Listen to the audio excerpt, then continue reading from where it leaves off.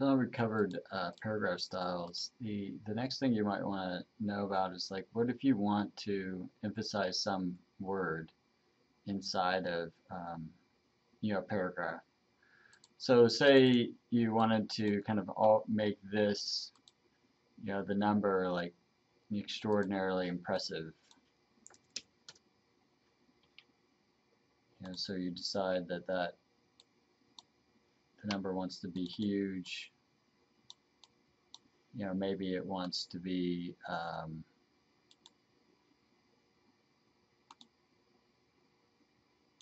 not that, but that, something along that, that nature. And you're going to do this for every uh, piece. So instead of trying to remember, oh, was it 120 or 115 or you know what what exact font did I use? What you can do is change it there once and then go to character style. And character style is exactly what it sounds like. It's just a character, which can be a word, but it's just a character inside of a paragraph style that you want to be different. So if I say, uh, label this as some kind of, this is my, um, you know, my big number,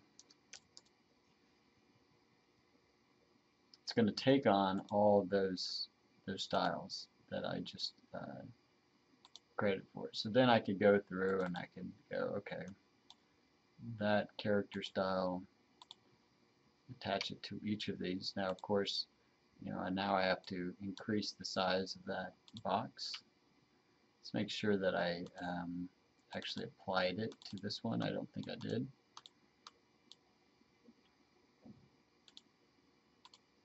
Go. And looks like I have one more.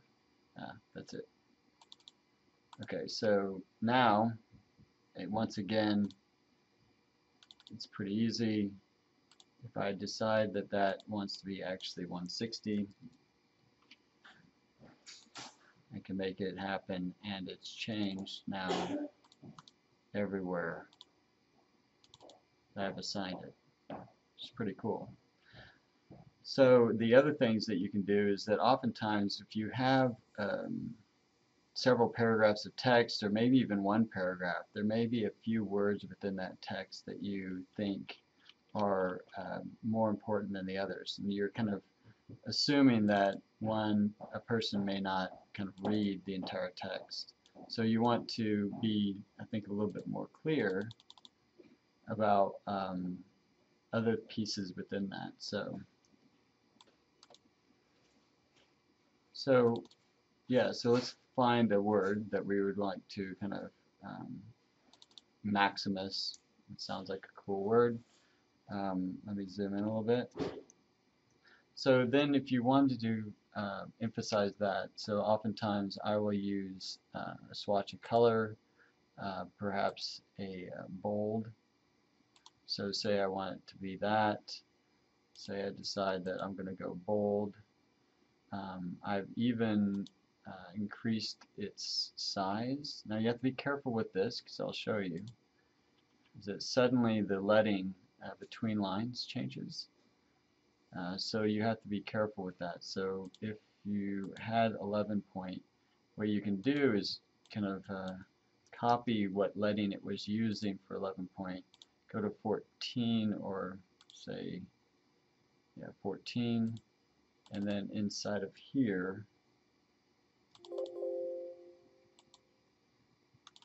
just go ahead and um, paste in that leading so it gets it back. Alright so that would be say uh, a word that I would say is emphasis or highlighted maybe is the better word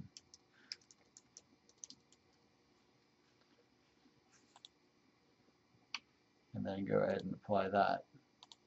So where you could go is through your text and just pull out those words that you think are the most important. Of course this is gibberish at the moment. So you can kind of, and it could be that it's a set of words, you know, so, you know, whatever the um, floating plane, you know, and suspended structure. You know, you get phrases or something. So as somebody would glance at this, they kind of know immediately what your project's about by just um, looking at the text and seeing what you've highlighted. This is oftentimes a very good use uh, of character style. So that pretty much is it.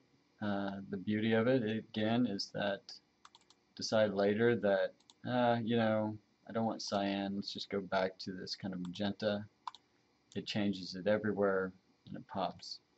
Um, and in fact, in this case, uh, because there's so much magenta, it didn't work out. So maybe I just want to go back to black. Whoa. With highlighted. You can do this on the fly. And the other thing you can do is like, well, you know, say 14 points is too big, you can just kind of dial it back. And it will, you know, take it into account. Essentially, all it's doing within here is you see the only things that it's changed are the things that you changed from the paragraph style.